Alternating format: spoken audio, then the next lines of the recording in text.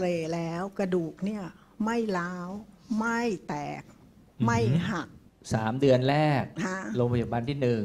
ค่ะมาอีกโรงพยาบาลที่สองค่ะโรงพยาบาลที่สามค่ะ แล้วก็มาอีกสองเดือนกับฝังเข็มค่ะ ดีขึ้นไหมครับ ไม่ดีขึ้นค่ะ